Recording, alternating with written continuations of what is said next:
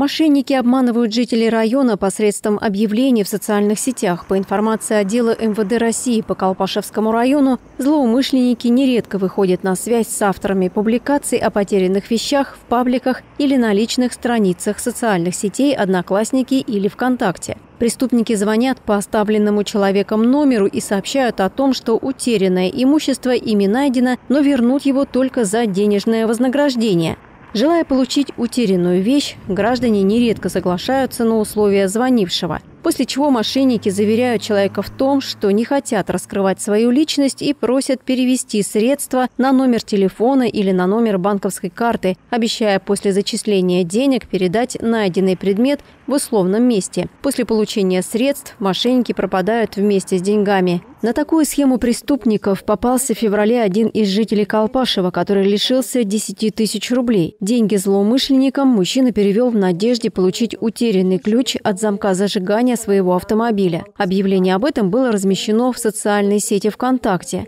Кроме того, мошенники используют объявления о покупке или продаже имущества, рассказала следователь отдела МВД России по Колпашевскому району Алина Башарова. Граждане, когда выкладывают объявления в сети интернет, там Авито, ВКонтакте, Одноклассниках, они указывают там свои персональные данные, номера телефонов, и мошенники убеждают в том, что э, под предлогом курьерской доставки там в другой регион просят оплатить сумму товара, ну, то есть на который, например, выкладывают там, продаю стиральную машинку за 50 тысяч рублей. И они говорят, для того, чтобы мы были, э, как говорится, уверены в том, что вы направите нам данную стиральную машинку, вам необходимо вот эти 50 тысяч нам перевести. После того, как мы получим товар, вам обратно данные денежные средства вернутся.